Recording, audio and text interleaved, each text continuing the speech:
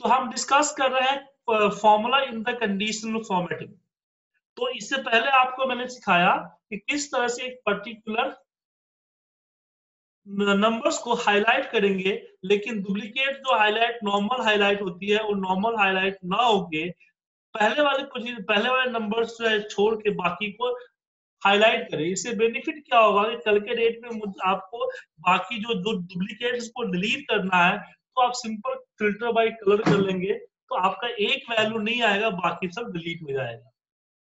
अब इसी में, इसी तरह से मुझे एक और करना है काउंटिंग का प्रयोग करना है मुझे। मेरे पास यहाँ पे मैं अकाउंट नंबर लिखना चाहता हूँ, और मेरे यहाँ पी कॉलम में अकाउंट नंबर अवेलेबल है। मैं चाहता हूँ कि अगर यहाँ लिखा गया अकाउंट नंबर यहाँ पे टाइप किया गया अकाउंट नंबर अगर पी कॉलम में या किसी और चीज़ में एग्जिस्ट करता है तो कलर हो जाए तो ये नंबर इसमें एग्जिस्ट करता है, कैसे पता चलेगा? इसके लिए मैच का फॉर्मूला है वीलुकअप का फॉर्मूला है? लेकिन उसमें क्या है कि अगर मैच नहीं हुआ तो एरर आता है। तो एरर से बचने के लिए हम क्या करेंगे यहाँ पे?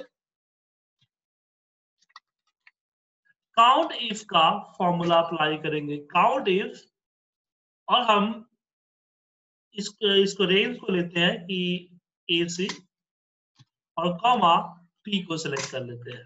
नंबर आ गया काउंट इफ़ का।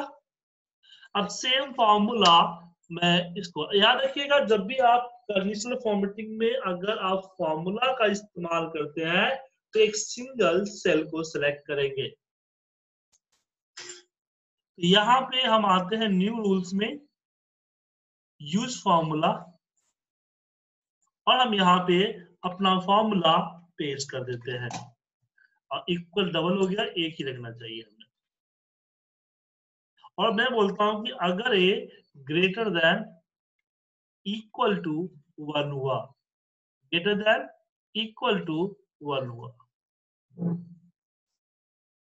और फिर इसमें फॉर्मूला हम यहाँ पे जो भी आपका है, वो डाल दीजिए। तो। हाईलाइट हो गया।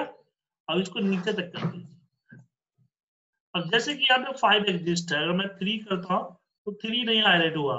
अब मैं सिक्स करता हूँ सिक्स हाईलाइट हो जाएगा। सेवन हाईलाइट हो जाएगा। टेन हाईलाइट नहीं हुआ।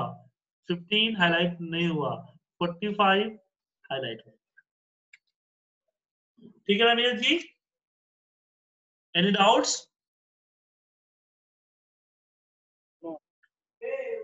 तो कंडीशनल फॉर्मेटिंग में हमने आपको बताया डुप्लीकेट को हाईलाइट करना। अब तीसरा एग्ज़ाम्पल इसी में आता है, चलिए इस पर हम डिस्कस करेंगे।